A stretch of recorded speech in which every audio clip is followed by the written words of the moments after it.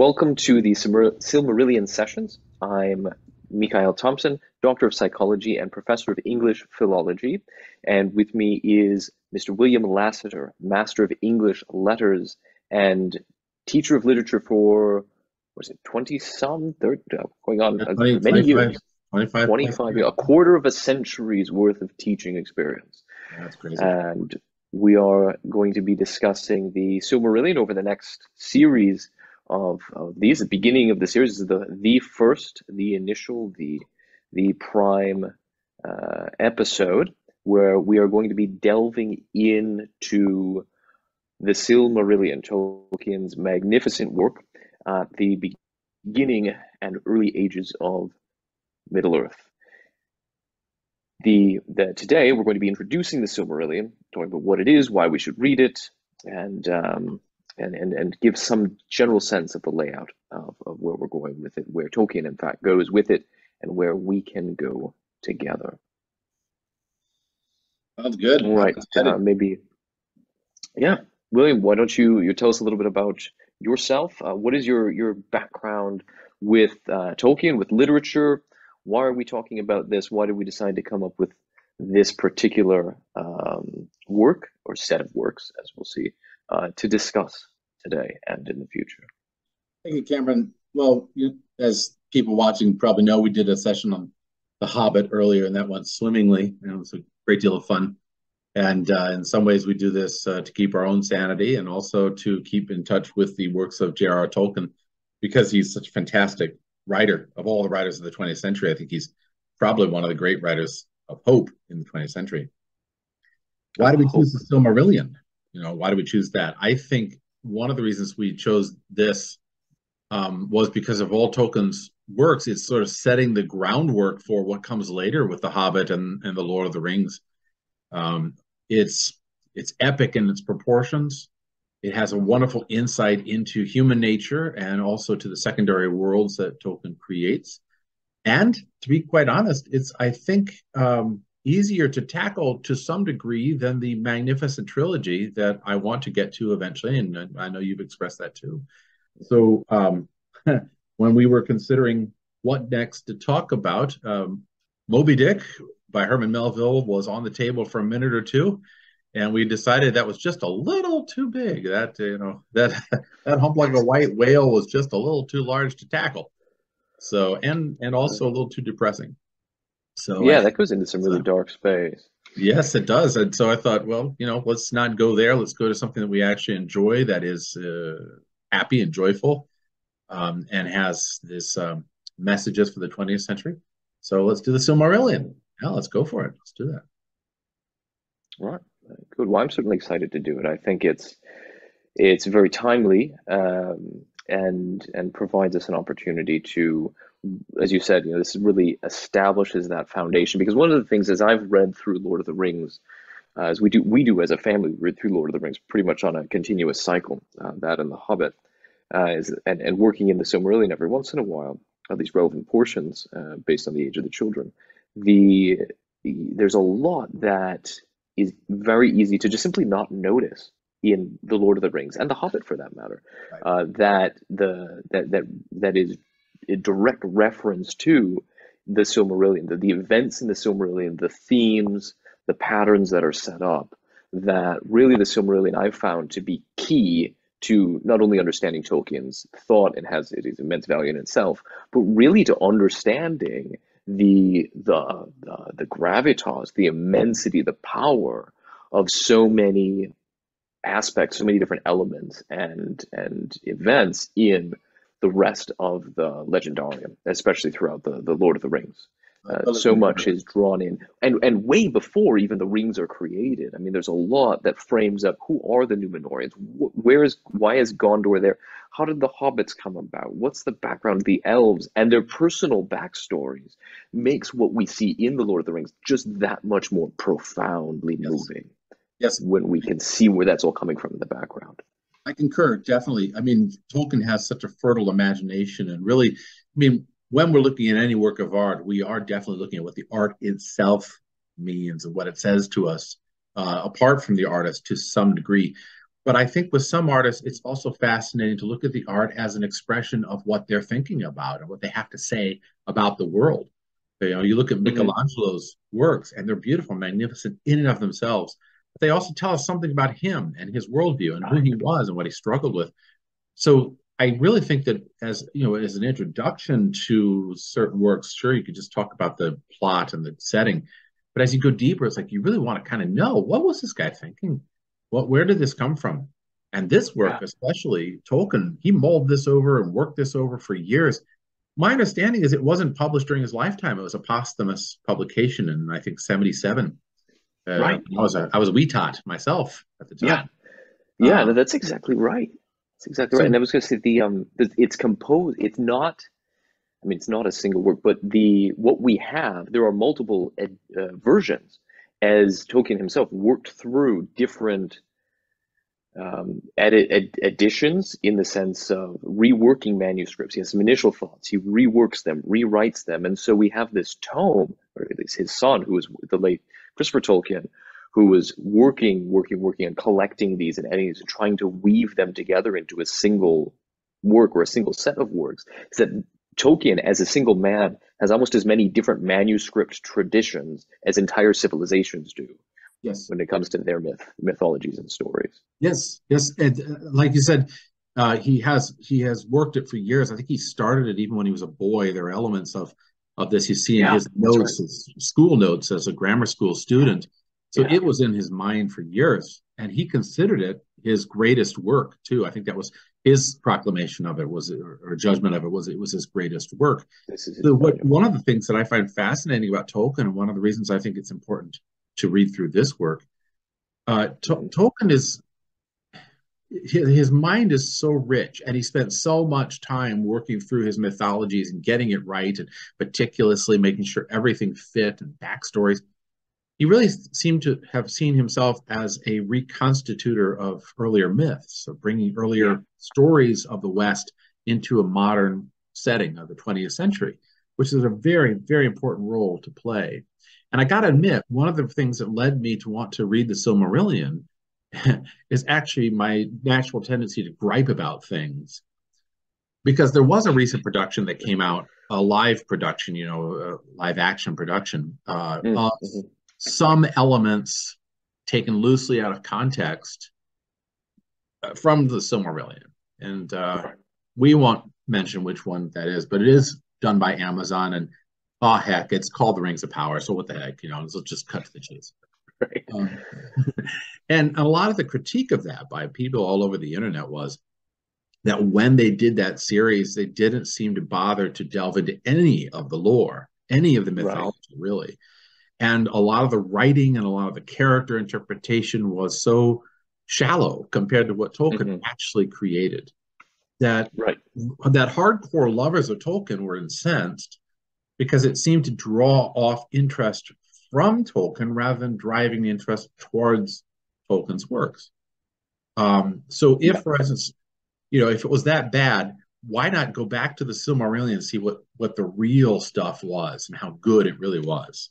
Exactly right. What actually is in the Silmarillion? What actually is the Silmarillion? What are th- what are the things that are going on in the early ages of yeah. of Middle Earth? And I think that that raises the point we should just dive in right away is what is the Silmarillion? What are we talking about? As the thing before we even get into the content, what is it? Because you know, as I mentioned, there's the different stories within the Silmarillion, each of which themselves, so like the backstory of Galadriel, for example, yeah. which plays actually a very, very small part of the Silmarillion.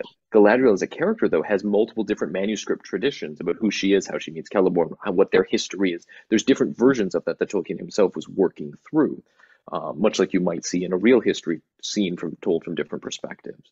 Um, but the the Silmarillion in its what we'll call the final product, the received you know, um, complete manuscript, yes. the received tradition, is is actually a number of different works collected together mm-hmm. uh, in much the same way, or at least in a similar way as the Torah is multiple books, five different books treated as a whole, oh. right? So the old, just the entirety of Old Testament literature, right?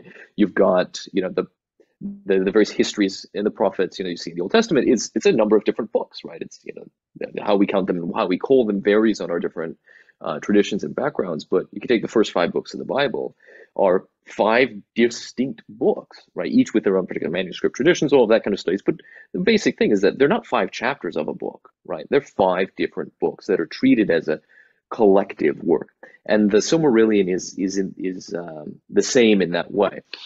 Yeah. In that we've got the Silmarillion properly speaking, which is the story of the Silmarils and the backstory of just about everything else that flows that, that the backstory of everything else that follows in Middle Earth. But that itself is preceded by the Ainulindale, which is the cosmogonic myth, the creation myth of Middle Earth. How did it come? How did reality come into being? How did the created order come about? And that is a beautiful story, uh, very mythic in its in its uh, almost poetic in its nature, though it's written in prose.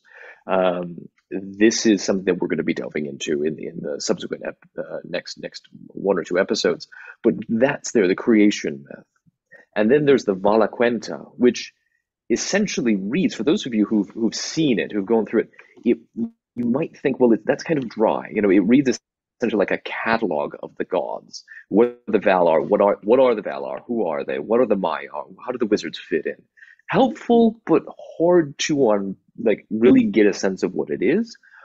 But that when we dive into that, we'll see that it's actually quite rich with meaning, with significance, and we'll be able to draw on that to tie in to how those individual beings, the Valar and the Maiar, actually develop throughout the stories.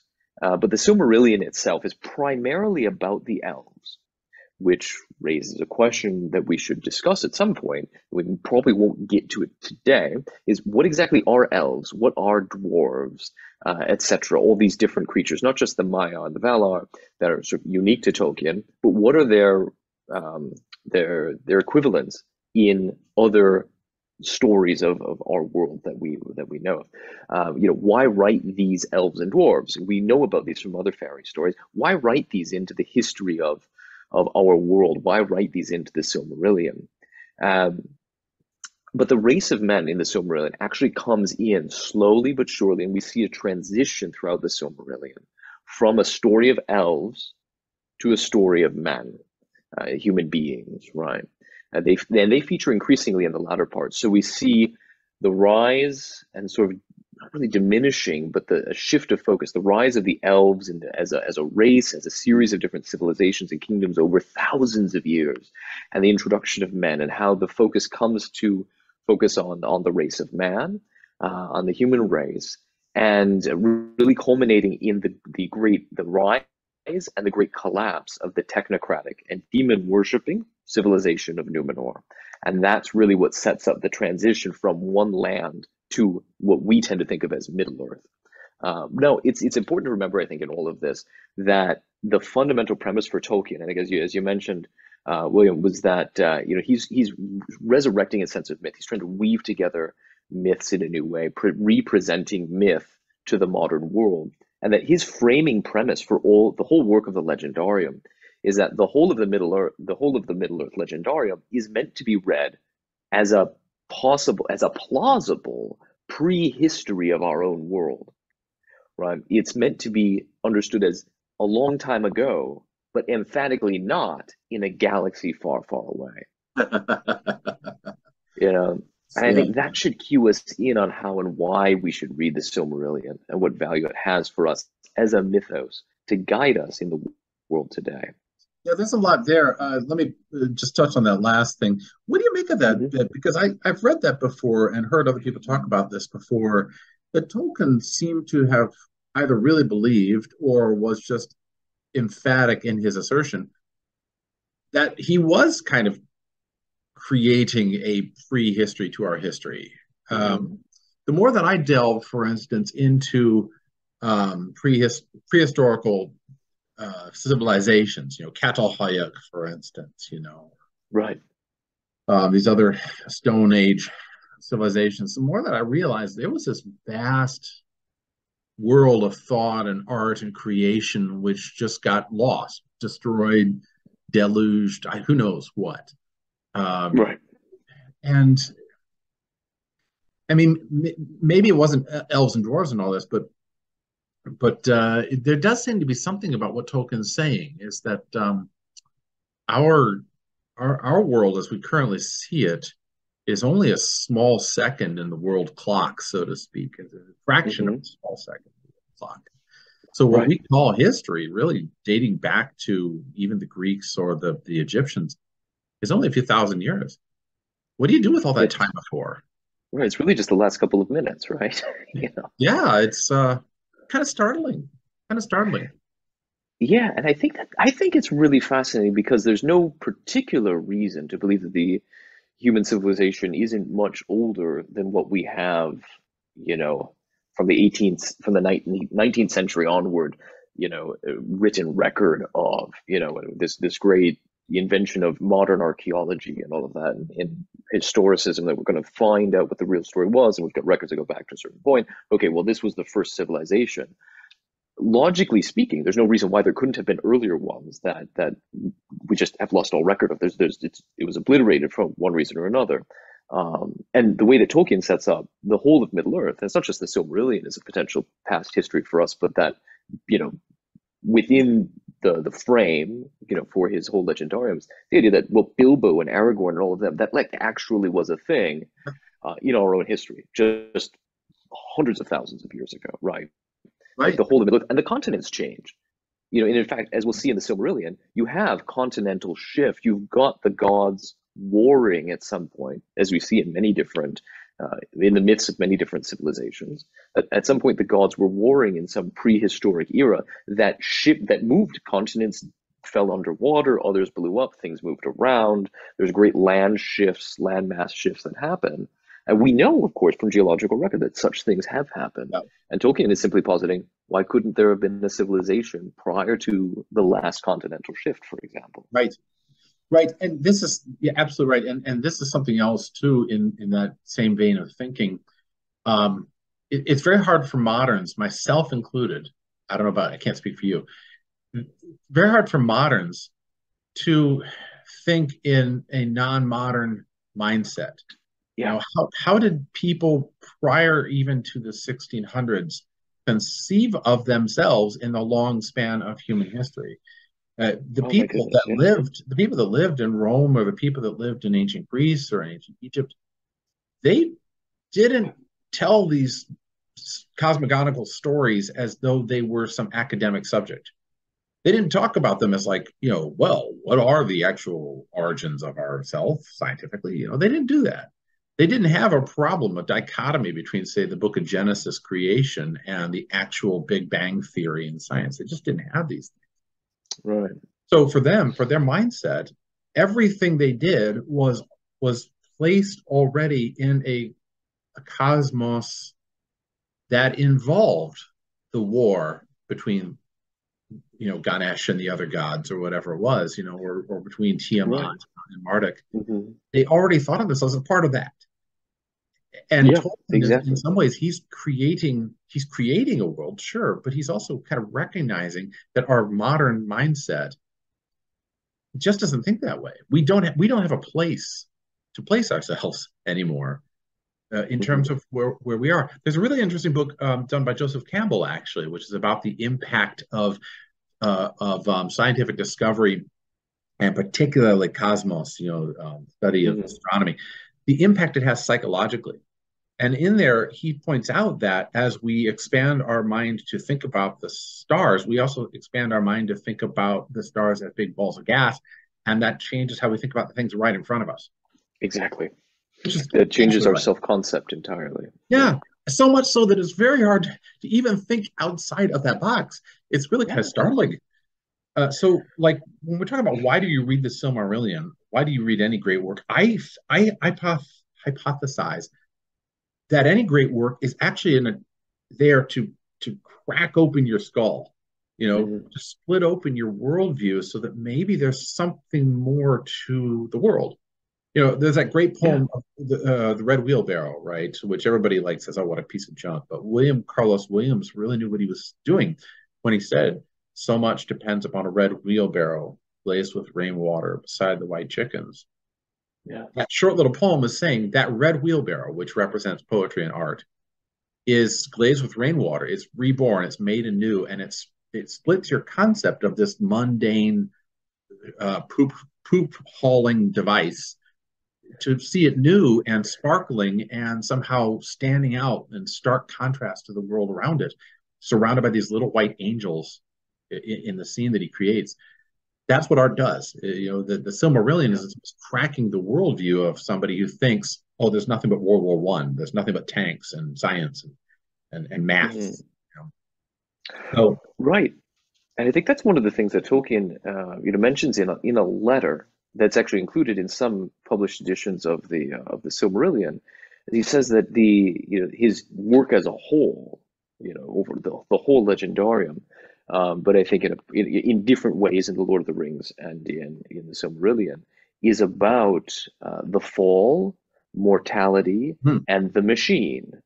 And, and one of the things that characterizes our, our modern society in a, in a very accentuated way is the machine and machine thinking in a machine society um, which is is very much akin to to magic, as we'll see. Those connections get made get made yes. more explicit uh, later on. But but that um, that sense that we live in a world that is, you know, say characterized by the machine, and by world I mean the modern society, our modern social imaginary that shapes the way we think about contemporary existence, shapes the way we think about ourselves. Yep. Um, and entering into a, a myth, a story like this, or any great work of literature, like you said, is a way to, yeah, to to like you said, crack open our heads, to begin yes. to see and to come crawl out of the shell that we're in, to be to see an expanded universe, to see the world in a in a different way. I mean, it's as though if we feel like unrooted trees in modern society, like so many people feel this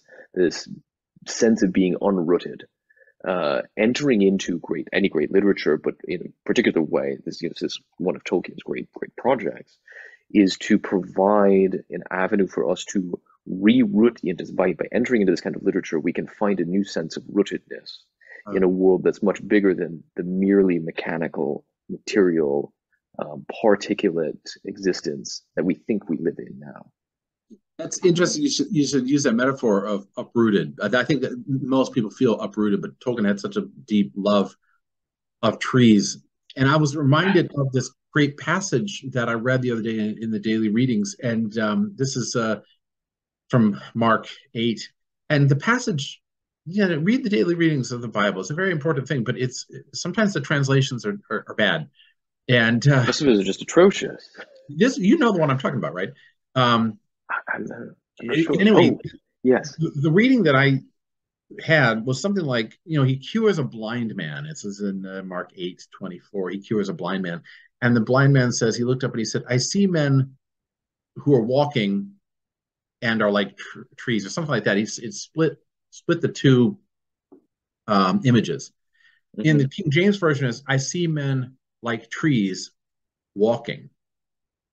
And, and that's that's such a powerful image because what what that, that blind man when he's first cured is actually seeing a um a spiritual vision. He's not he hasn't got his full sight back yet because Jesus actually cures him a second time. The first time he sees almost a prophetic vision. And it's the vision of uprooted trees walking around yeah. the world. And we think they're men, but they're uprooted trees. That's such a great image. Uh, if if for instance the modern world has done anything it has uprooted people from where they're supposed to be in the forest uh, the, the the forest of the of the cosmos or whatever and so we we we find people walking around all the time uh, not knowing where they're going and not knowing what they're supposed to do all this stiff almost zombie walking but at the same time we also find them imprisoned imprisoned mm-hmm. in a sort of shell of their own head, the, the, the mind forged manacles that William Blake talks about in his book. Right. We find people thinking that this is the only way to think. This is how it's always been. The tyranny of the now. You know uh, what the um, Burke James Burke calls in the in the um, the book Connections, he calls it te- technology trap, the technology mm-hmm. trap, which I think is very accurate. And unless we find a way out of that that technology trap, we we end up being imprisoned, you know, uh, caught in that trap and, and unable to to get out. Um, not to mix my metaphors of trees walking and prisoners mm-hmm. in prison, but you know, there it is. Well, that prisoners in prison thing is very interesting because that you know one of the things that Tolkien is or fantasy itself is accused of is escapism. And that's something Tolkien addressed in oh, yeah. his essay on fairy stories. What what in what way does something like the Silmarillion, um, you know, how is it a message for hope if we're not just uprooted trees walking around, but also prisoners, or we feel as though we're prisoners in some way or another, the experience of being imprisoned. What role does something like the Silmarillion have in being a message of hope, or, or what is this idea of escapism? How does Tolkien address that? Well, that's a great question. And to uh, address that, if you don't mind, I can, can I share just the title of this uh, thing through the, the share video? Yeah. Thing? yeah. I, I sent you this article, and I thought it was a great mm-hmm. article. This is um, this is by Edward A.W. Stengel, and it's called Hope Beyond the Walls of the World, Tolkien on Escapism and Eucatastrophe. And it's in the magazine, the online magazine Transpositions. But Stengel points out that one of the elements that we're looking at here is um, sort of rediscovery of joy that allows us to escape. And I'm going to just share the last paragraph here. Um, it says Tolkien famously denied allegory in any of his writings, but his worldview permeated all he wrote, just as it does for any writer who is honest with himself or herself. His conditions for healthy escapism, not abandoning one's life, improving one's own outlook on the world, and being pointed to the ultimate good reality, bring clarity to his worldview. Tolkien wrote with unwavering faith in the truth he saw in reality, that there is hope beyond the walls of the world. That's Tolkien's own words there hope beyond the walls of the world. He did not seek to teach readers this fact, but instead used his writings to allow them to discover it for themselves. And Tolkien wrote the following, and this I love this quotation: "The resurrection of Jesus Christ was the greatest eucatastrophe possible in the greatest fairy story, and produces that essential emotion, Christian joy, which produces tears because it is qualitatively so like sorrow, because it comes from those places where joy and sorrow are at one, reconciled, as selfishness and altruism are lost in love. I really like that quotation, both from from uh, Tolkien on the one hand and also from Stengel, because um, Stengel's point about how this form of hope allows allows us to escape that prison house. That's that's a very important point. But how does it do it? I think it does it by uh, instilling joy, but also allowing us to combat or understand or give language to the sorrow that is inevitably going to happen in the modern world. Both things. Uh, and in in some ways, those two elements act, I think, like a wedge to again split open the stony head or the stony soul, if you will, you know, to give uh, hearts of of flesh rather than hearts of stone. And it's very much like I'll just finish with this. Very much like joy and sorrow are like the old concept from Jewish faith of yesh and ayin, Ayin is nothingness and Yesh is something, is existence. And they are the first manifestations of the divine being in Jewish Kabbalistic thought, the Ein mm-hmm. Sof, or the infinite light of the divine. He manifests himself first as light in Yesh against the darkness, the emptiness, or the void, as we call it in Genesis, of, of Ayin. And those two things, the sorrow of the ayin and the joy of the yesh, act as a wedge to break open our own prison house of soul or heart, so that we begin to see the world uh, in in as glazed with rainwater, you know, as, as something new. Mm. So I, so I that, think yeah, I think that's what he's touching on here. So yeah, good.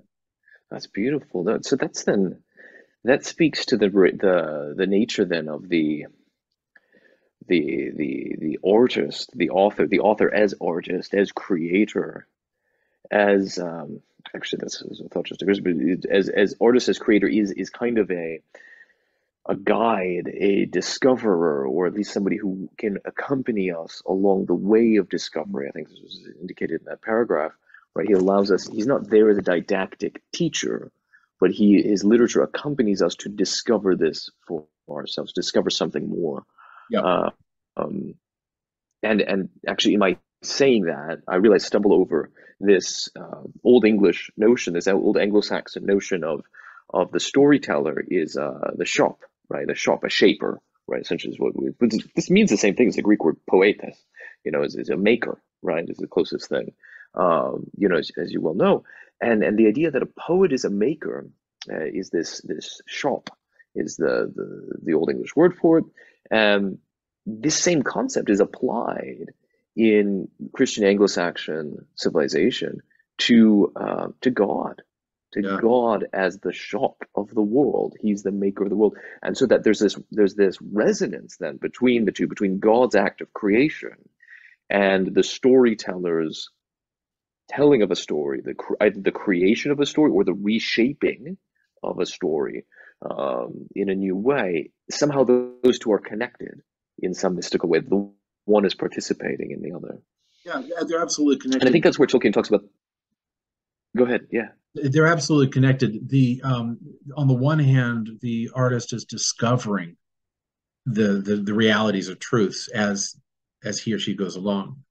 I mean, there's that there's a, a famous quotation from Tolkien. Let's see if I can grab it here real quick. Oh yeah, he says, um, "I met a lot of things on the way that astonished me as I was writing this work of the Lord of the Rings. I had never Mm. been to the town of Bree. Seeing the character Strider sitting in the corner at the inn was a shock, and I had no more idea who he was than had Frodo. I was as mystified as Frodo at Gandalf's failure to appear on September 22nd. Um, Yeah. and elsewhere, he has there's a great poem that he wrote, which is upon the hearth, the fire is red. I think that is that Bilbo's poem. I forget whether it's Bilbo or or, or Yeah. But anyway, Yeah, it's Bilbo. the opening the opening section of it you know upon the hearth fire is red beneath the roof there is a bed but not yet weary are our feet. Still round the corner we may meet a sudden tree or standing stone that none have seen but we alone. Yes. It's the walking song. it's a wonderful walking song. Is that that sense of like you're on this path and you turn a corner and suddenly there's this stone this magnificent stone there in the rising sunlight covered in moss and lichen with copper running through it. And you're like i've never seen that no one's ever seen that. That's a beautiful thing. And and story creation is kind of like that. It's like discovering things that are already there. But simultaneously, I think it is also a creation of um, of hope and existence in the making of it as well. Now, uh, Michelangelo was famous for when he the story. You, you know the story behind the creation of the statue David, right? About how it was junk. Um, for those of Yeah, listeners, chunk piece of stone. it was a junk piece of stone. And the, the, the people that had worked with it before said you cannot work with the stone. And so they were throwing it away basically. And michelangelo got it for a song and a dance. And anyway he goes and takes it back to his studio and he begins as he said to discover this the form of david in the stone. Hmm now he, it wasn't that he wasn't he, he wasn't just standing there like a jedi you know just waiting for the stone to melt. He was chiseling away at it and, and hammering away at it and um, a lot of sweat a lot of a lot of work. But he was forming it at the same time that he was discovering it. I, I think that's an amazing thing that a real artist does. They both Yeah, it's a two-way activity. Yeah. yes absolutely. Absolutely it is. Um, and that's we'll get into this later but that's why when we get into the Ainulindalë, that that is the song of the gods who are both singing and discovering at the same time too Right. They're discovering, and their song is in fact a creation. yeah, And so yeah. that's that notion of what what Tolkien called, you know, we not we have the I think a beautiful example of it uh, in the Ainulindalë that we'll we will expand more upon uh, in our next episode. But that's something that Tolkien in other places writes about as the artistic process, the creative process, is this notion of sub-creation, creating Yep, a right. secondary world. Yep. What you know this this in the creation of you're discovering something and it seems to indicate he you know he'll he'll go so far as to say in some places that you know you're discovering something of the divine as you as you were just saying where you the the, the author and this is a common experience of of many many authors in writing a story writing a novel is that they're discovering some new things as they write. Uh, you know how many authors have said well they wanted to say this or that but uh, the, the character just wouldn't do it yes. you know? And so they had to write it differently. Like they're actual people that are collaborating these sub in this sub world so they're kind of like a, a mini god creating in a sub world and, and i think there's a lot that could be unpacked to that theme in and of itself and maybe that's something that fits really well when we talk about the Ainulindalë but I want to talk I want to I want to talk about the context, like why. So that if that's the experience, right? So let's say subcreation is a thing, and we can unpack it itself in the next episode. But why is why is this so important, uh, especially for Tolkien? Like when is Tolkien Tolkien's writing this? You know, before, during, and after the World Wars, right? Right. So he has this experience of the World Wars. He's living in that time, and he's seen terrible, terrible things. I mean, you know, the other other people who have seen the trench warfare of World War One don't write the same kind of stuff that Tolkien's writing, right? I mean, it's very, it's a very different flavor, very different worldview, very different perspective. Why did Tolkien see the need to recreate this world to, to participate in this sort of sub-creation? What is he doing when he's doing this? That's a really interesting question because you know why this work at this time in this place? I thought about that with the great works you know like homer or dante or the bible. Why were they created at that time in that place? Um, it's not like the 19th century didn't have its horrors but they were pretty localized in terms of uh, the battlefield mm-hmm. or um, the diseases that broke out in certain places most people didn't get a sort of looming sense of dread of uh, you know this this ennui that the French talk about. Well, we didn't. Yeah, we didn't talk about any of those. Even the the huge revolutions, the widespread revolutions oh. of 1848, weren't talked about as like a world event. They're just a series of localized events. Yeah, maybe a coordinated movement. But we only start talking about world wars in the 20th century. That there's this concept that they're global, that they're universal. And that's not to mitigate the fact that there was suffering like in the American Revolution, you know, the sense Absolutely. of something was occurring, or the uh, Civil War in America. It, it, certainly was, and people were affected by it. But it, you don't get a real sense of this intense dread universal. And what you do get in the yeah. 19th century in America, I find this interesting. You do get a, most of the authors of the 19th century said, sensed that something was wrong. And you get some authors like Mary Mary Shelley on the continent who senses something's wrong, you know. And yeah. Hawthorne and, and others. Edgar Allan Poe, certainly something's wrong. There's a sense of something's very wrong. but it wasn't it, it wasn't this catas maybe because it hadn't really come to a full head as it does in World War One and then the interim years and then the catastrophes of communism in World War Two. Maybe it hadn't right. come to that level yet. And certainly the dropping of the A bomb was was a spectacular mm-hmm. example of horror and awfulness. Yeah. So most of the authors that are writing about this sense are writing in the negative. That is, you look at Ambrose Bierce, who saw action in the Civil War, and he writes these great stories, but they're so damn depressing. You know, the occurrence at Owl Creek Bridge, you know, or the what I saw at Shiloh, they're horrifying. They're just, oh, I mean, they're they're great. Not sort of thing you want to read over and over again as you go to sleep. You know. Right. Herman Melville. But even even the the trench, even other folks in, in World War One, the trench, what do you call it? The trench poet, these poets, yeah, this yeah, poetry, yeah. this common man's poetry written by the men in the trenches. Mm-hmm. They're just, it's real. It's, yeah. it's God, see, it's it's visceral. You, you look at um, you look at Siegfried Sassoon. Sassoon was a great poet, and he, he has some really vivid imagery um, and so did his friend Wilfred Owen, you know, with uh, Dulce et Decorum Est. Right. They're really good poems. Yeah. But that image of in Dulce et Decorum Est of men gurgling from gases like devils that have been kicked out of hell, you know, you're not like, wow, that's great. I, you know, I want to go on with my life. Um, it's more of a sense just as this horror of yeah. of that event And same thing with Bierce, same thing with Poe, same thing with Melville, uh, same thing with many, many authors. None of them, none of them saw that kind of horror and said, I'm not going to pass that on to others. I'm not going to use mm. that as my artistic thing.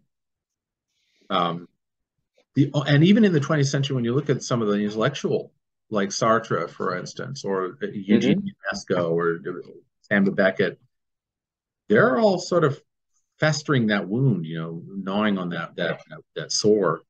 The only one who doesn't do that is this guy, Tolkien. As far as I can tell.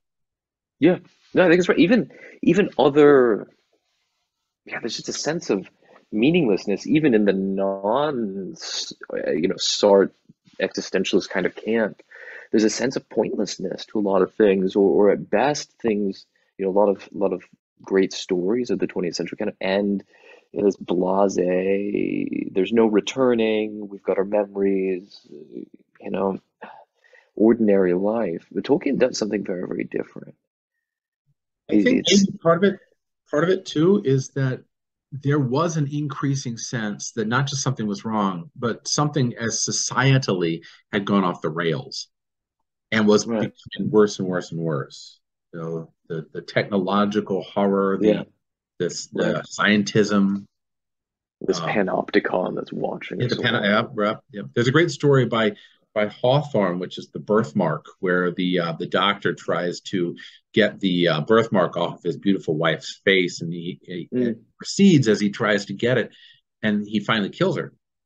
Right. And that's almost a sense I think Hawthorne had that that this um, this uh, movement towards greater scientific study and uh, technological study was leading to our disastrous ruin. It is destroying the world, and yeah, and and this is where you know Sartre's philosophy you know, is is, is capsulated. You know, I mean, you, you capsulate in that in that um, really symbolic title of no exit, right? There's no there's no way out. Really, is what that what the properly translated is. There's no way out. Tolkien seems to write something that says actually there is. You know, we can see over the walls. There is a way out. We need. We're not condemned to this darkness, and of course, that's a theme that we see over and over again in Lord of the Rings for anybody who's, who's even remotely familiar with it. Um, why? what, you know, what is Tolkien's response to this charge of escapism? Well, yeah. You know, yeah. is it bad? Are I we just denying the the darkness of reality? Oh, he, I think he's spot on, and and you know he got criticized, especially with The Hobbit and then The Lord of the Rings as well. He got criticized by a lot of people because he wasn't tough enough. He wasn't writing like John Steinbeck, you know. He wasn't writing yeah, right. um, like Faulkner or like um, uh, who's the other uh, Ernest Hemingway. You know, he wasn't this realistic, tough, facing the realities of the world. You know, he wasn't doing that. And I agree, he wasn't. He wasn't doing that. But uh, they accused him of escapism uh, to flee uh, this world. And I think that some people compared him originally to some of the pulp fiction writers like Edgar Burroughs or um, right. you know Edgar Rice Burroughs or um, who's the other great uh, writer um, of the Robert E. Howard, you know, Robert E. Howard, or um, mm. uh, later Mickey Spillane. You know, they compared him to those guys, which no, he Tolkien's heads above them in many respects, but they too were kind of escaping. You know, John Carter goes to Mars, for instance, or we mm, follow the yeah. exploits of Conan in an ancient barbaric age. Those guys were trying to escape to a certain degree and many others were trying to escape to a certain degree. These pulp writers, but maybe in the way that taking opiates is a way of escaping your reality. Well, yeah, I mean, in a way, that's like a that. charge that's laid against them. Yeah, yeah, and he, and his response, Tolkien's response, was really quite powerful because I think he put his finger right on the problem. Let me let me here. Um, here's the quotation. This is from his essay on fairy stories. Uh, where he writes in response, direct response to this criticism. He says, Why should a man be scorned if, finding himself in prison, he tries to get out and go home? Or if, when he cannot do so, he thinks and talks about other topics and jailers and prison walls? The world outside has not become less real because the prisoner cannot see it. In using escape in this way, the critics have chosen the wrong word. And what is more, they are confusing, not always by sincere error, the escape of the prisoner with the flight of the deserter. I, I, Ah, it's marvelous because the cri- the criticism, as is pointed out in that article that I just uh, highlighted, the Yeah. criticism is that escapism doesn't face the hard facts of the world. It's an opiate, as you said. You read Conan and you're like, okay, that's nice beach reading, and uh, then you have to get back to the hard work of being at a job. But Tolkien's Right. You gotta like get back- that. So his work is not like deserting the fight of the gritty reality that we live in day in, day out. He's more like pointing away. His literature, at least his aim, the goal, we'll see if he's successful, is to point to a world outside of the trenches where we're in. This is actually things are starting to grow outside the trenches. There's there's there's a green world. Perhaps even yeah, there's a green world out there that we can go into. So Yeah, then I- if yeah. I I was gonna say just um it occurs to me too like the if the charge is that look the world is a messy place there's it's it's complicated there's crap all over you just got to deal with it we got to you know we got to face it. Writing anything else this happy-go-lucky hobbit skipping in the forest is just it's it's it's escapism right? You're you're just you're a deserter you're you're a deserter from the grittiness of reality you're trying to you know, drug people with some fantasy. Um but but what it seems like then Tolkien's literature is, what he's doing in the Legendarium, and I would say some of his other works as well, is that for him the idea of escape of escapism is not what they really mean as deserting. He said escapism. This is the escape of the prisoner, which is in some ways to bear bear with me here the the idea about there being like crap all over. This, the world's a messy place, right? You got to get into the mess, embrace the mess is that what Tolkien's view is in some ways is to critic is, is that essentially criticizing Tolkien's literature as escapist, by which you know I mean deserter, is a bit like criticizing me for reading the assembly guide and instruction manual for a new appliance instead of just accepting the meaningless chaos of the scattered parts wrapped in plastic. Like that's the world, man. Like you've opened the box and the pieces are everywhere, and that's what we just gotta you gotta deal with it. You gotta live with that. You know, I mean, that's essentially Well, kind of the the yeah. whole world view of reality. It's just bits wrapped in Yeah. plastic, right? Like, in fact, that's all we're talking about. We've got oceans that are filled with plastic, and there's just bits everywhere, uh, and soon there's going to be bits of us everywhere. Yes. But if you read the Absolutely right. instruction book and the assembly guide, it shows you how actually to fit the parts together to give a picture and maybe even a map of how to make it whole. I think you're absolutely right. I mean, Tolkien Right. was he, he suggested that part of the the uh, task of fantasy, of mythology, of art is cleanse the the worldview, cleanse the, the so you can see better. It's like what William Blake, that old pagan, used to say back in the turn of the 19th century. He used to talk about how uh, when the um, when the doors of perception are cleansed, then everything will be seen as it really is, which is infinite. In other words, the, the vision is that really what we see in, in front of us only is disparate, is only so much, um, what does Eliot say? Uh, these fragments I have shored against my ruins. It's only so much fragmentary material. When you don't see the, how did you put it? The uh, the manual, right? Right. When you don't How to fit it together as a plan, how to fit it together, which um, which is I contend is the logos. It's the lost vision of the logos, really. But when you don't see that logos, call it what you will, beauty, uh, nature, whatever, then Mhm. yes, everything is going to be fragmentary. It's going to be pieces, and human beings can't live like that. And so what happens is when we lose that vision of the logos we go searching for something that will give meaning to our life be it protesting on campus be it joining the communist cause be it uh, uh, taking our, our our job very seriously or getting into politics we look for something that's going to give meaning to the world Or far worse vices. far worse drown themselves in, right? to try and escape the, the, the anxiety, the meaninglessness, right? but all Drugs, those, violence, sex, porn. It's exactly but all those are opiates they're all Right. opiates they, they do not actually do what we need in our in our hearts or our souls or minds which is put the stinking wash machine together. yeah, then you right. can use it. Right. Yeah. And I think I think that phrase I, I really think that phrase that he uses the uh, the prisoner's necessity of the prisoner to escape is is crucial because you first have to recognize that you are a prisoner and that there is a home to get to. Yes. And No. that that ties very that strikes a very personal chord with me. Hmm. Um, the uh, I just want to repeat the, the the bit of that that passage that you read there.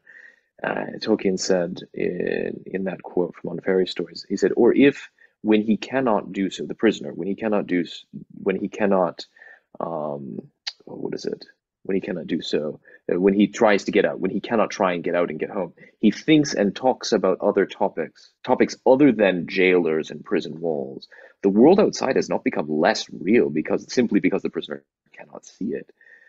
That reminds, like you said, that there is a home to get to, right? There's a home outside there, um, and it's not the world doesn't end at the at the razor wire of the prison walls. That reminds me of my grandfather, uh, who passed away this uh, just uh, this this last six months ago. He was a he was a prisoner of war in World War II. Uh, he was captured at the Battle of the Bulge. Uh, somehow miraculously survived uh, the onslaught.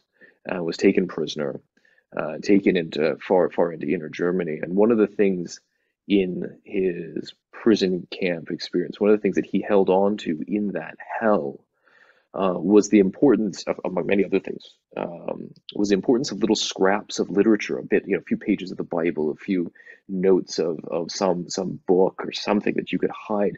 These things could be read and imagined, right? You could see a world outside of the emaciated, gray starvation that you're facing day in and day out. And he and this other guy, he, he remarks, he would always remind me the importance of this said that that they would do the best they could every day. Know, so my grandfather would do the best he could every day to wash his face and to shave with a broken bit of metal and a piece of glass that they had found. You know, he said they probably cut a fine figure. You know, so these scruffy bits and patches and cuts all over, but but that there was a great value in doing that. And why is that? Because the guys who didn't keep up some sense of the world outside, some sense of dignity of like, well, I'm going to shave. I'm still going to clean myself. It's as best, you know, you know, making the best you can of a really bad, um, to you know, circumstance tools at your disposal. Is because guys who didn't do that, who didn't keep up some sense of the world outside, ended up eventually just wasting away into wraiths Yep. dying or throwing themselves on the wires. Yep. I'm sure they mocked him, him and this other guy, you know, with their motley, you know, pockmarked, cut up faces. But in the end, he had enough hope. This kind of activity cultivated enough hope. In the end, he did escape. He escaped from the prison camp and made his way back across the battle lines and got home and married the pretty girl next door. And I'm glad he did. And that's not a piece of fiction. That happened in real life because of a prisoner who's willing to hold on to something beyond the darkness that he sees around him day in, day out. He actually can have a happy ending. happy endings do occur in life, and that's a great Yeah. story. It's a, it reminds me of Ernest Shackleton saving his men Yeah. from, the, from the ice. But um, really, when it, it, again, it's you're right on that score. This this attempt to push the narrative that everything is fragmentary or everything is going to fall into ruin is we see it in the the, the environmentalist movement, or we see it in the overpopulation movement, or we see it in the Mhm. uh, the, the political realm is the only realm that's going to save us movement. You know, all these different isms that show us that the world's fragmentary and you have to put your will subordinated to some greater person is going to dominate over you, or else you're you're you're going to die. You know, there's it's meaninglessness if you don't bow down and vote for this guy or do this thing or recycle your bottles. Um, Right. and uh, that's a prison. That's it's a prison house to to think that way. Uh, It is. and you can't get back to the princess and marry her if that's the case, because there is no princess. She's Right. just a common drab, you know, a giglet, as as uh, Shakespeare calls them, which is opposite of gigolo. Um, right. You know, that's all she is. And and if if we see that as being it, then what's the point of of any of this stuff? Um, Right. his his writings. I mean, I, I so many things just firing right now. One of the things that's firing is that great poem by Walt Whitman, where he talks about him hearing the um, uh, the learned astronomer. Okay, Mhm. you've probably read this, right? But Walt Whitman, one of my favorite poems by, by Whitman. Um, here it is. When I when I heard the learned astronomer, when the proofs, the figures were ranged in columns before me, when I was shown the charts and diagrams to add, divide, and measure them, when I sitting heard the astronomer where he lectured with much applause in the lecture room, how soon unaccountable I became tired and sick. Till rising and gliding out, I wandered off by myself in the mystical, moist night air, and from time to time looked up in perfect silence at the stars. I mean, that, that, that's exactly it. Is that Yeah. that that last turn? That's what Tolkien's literature does yes, to me. It seems that we're in the muck of the trenches, and only being concerned with the gurgling bodies like demons cast out of hell, and the the blood and guts that we're wading through. is that Tolkien's literature then points us not only up to the stars, but says that there's there's greenery. We we're in a trench. You can crawl out of the trench. And I think there's maybe things starting to grow there that if we could begin to peep our heads up above the trench, we might see a bright green country under a swift sunrise. yeah, yeah, yeah, yeah. I mean, this is startling to me that um, William Blake was responding to a similar thing when he wrote that about the doors of perception being cleansed. Mm-hmm. And it's no accident that the band in the 60s, late 60s, early 70s, named themselves the Doors. They were naming themselves yeah. after a book that had been named uh, based upon that, that poem. Because the same movement that occurred in the 60s, which many people look down upon, the, the hippie movement, I guess, for lack of a better word, Mhm. was a reaction to a sense that we had become so entrenched, literally entrenched, that we were just waiting for the bomb to drop, you know, and we we're going to be incinerated, and there's nothing you can do about it. You're helpless. There's no way out, as you pointed with the with the with the poem, no exit. But the artists of the time, for for all their faults, you know, Led Zeppelin and Jimi Hendrix and uh, and the Doors and all these other bands, they were at least saying there is another way to live, an artistic way to Mhm. live. Now, you know, again, they, they had their faults and we can criticize them, but that's what that movement was about. It was a response to that sense of being imprisoned. And that's Mhm. why, strikingly, that's why the works of Tolkien, I think, resonated so powerfully with that generation. So much Yeah. so that he had hippies showing up on his doorstep to get a glimpse of the old philologist, you know, and he would open his door. There'd be these hippies standing there waiting to shake his hand. And he was absolutely because you know by this time he was a distinguished and A stodgy old Oxford dog. stodgy old right? Oxford guy. he had these hippies like, yeah, man, I love your stuff. You know, you've inspired me. uh, and and it's really that's I don't know. It's just moving to me because up to that point, there were all these artists, all these people were trying to say, "This what's wrong? Something's wrong. It's terribly wrong. There's no way out. We don't know what to do." Along comes Tolkien. He's like, "Yeah, there's something wrong. This is what we do. We escape from the prison. We look up at the stars. We fight against Morgoth. We uh, we struggle against Sauron. We um, we craft poetry and we build uh, havens, you know, here and there."